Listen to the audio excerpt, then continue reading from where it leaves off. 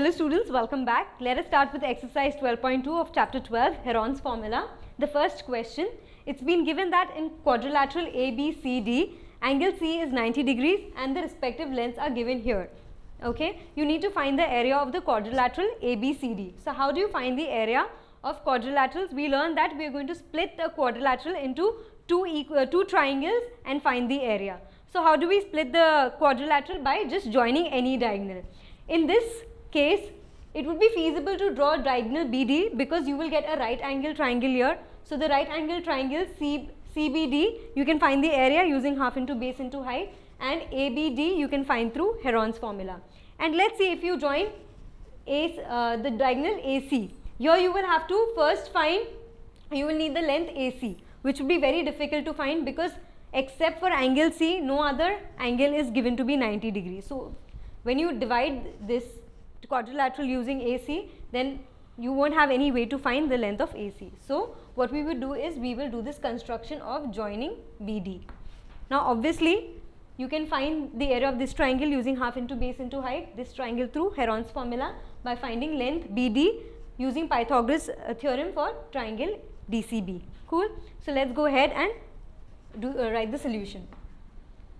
So first the construction I'll say draw diagonal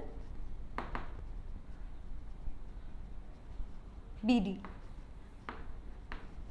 So I'll say in right angled triangle C DCB I have DB square is equal to DC square plus BC square through Pythagoras theorem.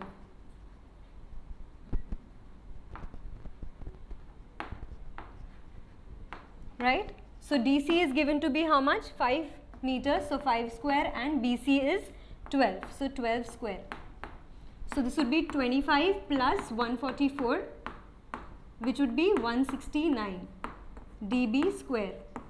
So obviously DB would be under root of 169. So we know that the square root of 169 is 13. So DB is 13 meters. I'll mark this as 1.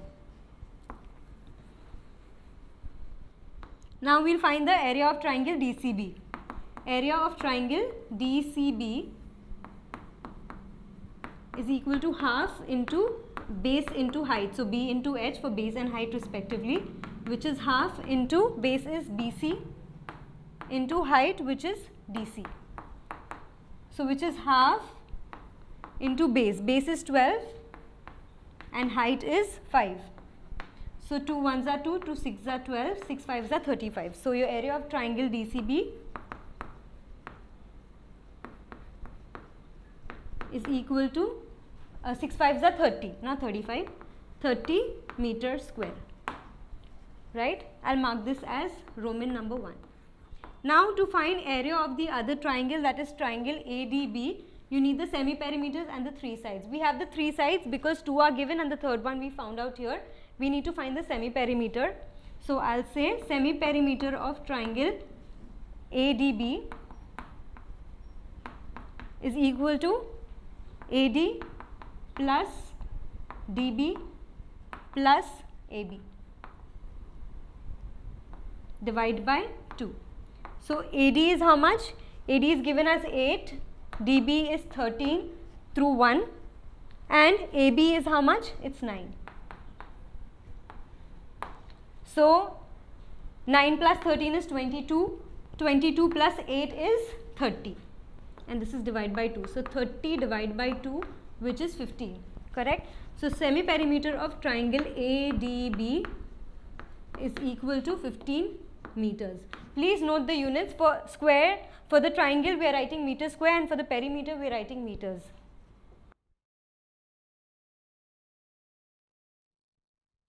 I'm sorry, for area we are writing meter square and for the semi perimeter or the perimeter we are just going to write meter and not meter square.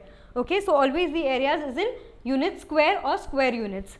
Let's mark this as small case 1. Now, if you take a look at your triangle ADB, if you take a look at your triangle ADB, this is A, this is D and this is B. the side opposite A will be small a, the side opposite B will be small b and side opposite D will be small d, right. So, let us find the area of triangle ADB. This is going to be under root of through Heron's formula S into S minus A, S minus B and S minus D. So, this is equal to under root of side is how much? Uh, sorry, your semi perimeter is how much? 15. So, 15 into 15 minus A. A is this side. So, this side we have found it to be DB which is 13 meters. So, 15 minus 13 then 15 minus B. So, this is the side B which is 8 meters.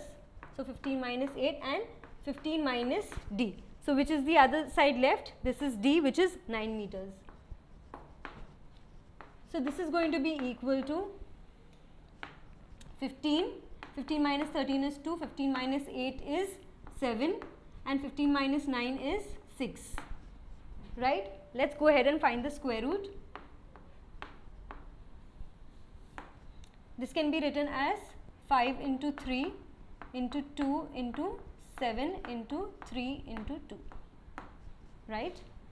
So, this would be you have a single 5 here. So, uh, we cannot really find the square root.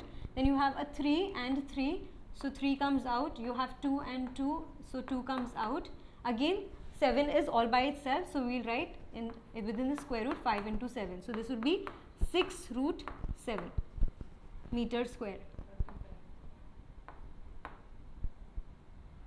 6 I am sorry this would be 5 sevens are 35. So, 6 root 35 meters square right. So, let us find the square root of 35. I will keep 35 and I will mark it. Remember we go marking as double pairings and then I will take a number that is perfect square close to 35 or less than equal to 35. See you have 5 5s are 25 and 6 6 are 36. If this would have been 36 easily we would we would have got the square root as 6. But now this is 35 so I will take 5 5s are 25. So, I get 10 here, I am going to add this 5, this 5 over here. So, I get 10. Now, we have a remainder over here. So, we are just going to put a decimal point and keep adding zeros, right and we will pair them up. So, 2, 2 and 2 will come down one after the other simultaneously. So, now I am bringing down these two zeros. So, now I have 1 0, I need to multiply 1 0 and another digit over here. So, whatever digit I take over here, I will have to multiply it and this with the same number and get a number here which is less than 1000. So, if you see if I take 1 0 5 into 5, this will give me 5 0 uh, sorry 25 and 5. So, 525 is very less, let us go with something more 1 0 9 into 9 9 nines are 81 and 9 ones are 9. So, 9 109 into 9 will be a good one. See, if I take 109 into 9, this is the maximum that you can take 9, right. So, 109 into, so here I will put a decimal because we have added these, these zeros after that decimal. So, I get 5.9 and I will add the 9 here. So, I get uh, 9 ones are 9, 9 twos are 18 118 and this would be 981. So, this would be 9, 1 and nothing. So, I will bring down this 0 now. So, 2 zeros here. Also, now 118 into what would give me 1900, something less than 1900. So, if I take 1182 into 2, obviously see over here I am going to get something in 2s, but my number here is in 1s right. So, I am going to take 1181 into 1. So, into 1 will give me 1181. So, this will be 1182 and this would be 9, 0 and okay. So, my remainder here is 9. So, we have two places after the decimal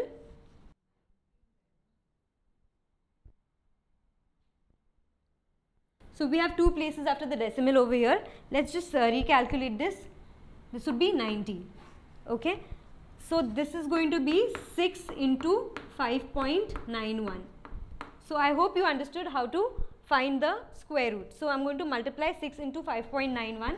So 5.91 into 6 will give me 6 ones are 6, 6 9s are 54, 6 5s are 30 and plus 5 35.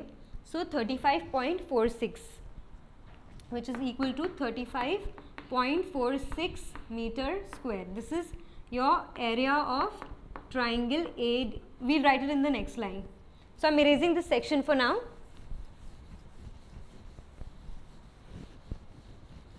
Therefore, I have area of triangle ADB is equal to 35.46 meter square and I will mark this as 2. Right. So, now the area of my quadrilateral is the sum of these two triangles. Just one moment. Um, area of triangle DCB and area of triangle ADB. Right. So, area of quadrilateral ABCD is equal to area of triangle DCB plus area of triangle ADB. So, area of your triangle DCB was here that is 30 meter square. So, 30 plus 35.46 and I will say from Roman numbers 1 and 2. So, adding these up what do I get? 65.46 meter square. This is going to be your answer.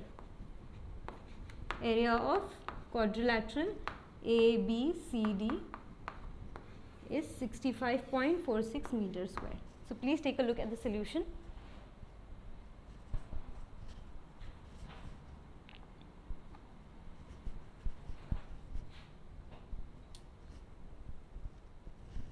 I'll just mark this as 2 because we already have a 1 over here. Thank you for watching this video. Hope this video increased your knowledge. For more such videos and a completely free educational content, log on to www.epathshala.org or visit our ePaathshaala YouTube channel. We have each and every question solved for maths, physics, chemistry and biology. So subscribe our channel, share with your friends, like our Facebook page and follow our Twitter handle for regular updates and important educational tips and also win ePaathshaala goodies. So what are you waiting for? Subscribe this channel and enjoy the freedom of education.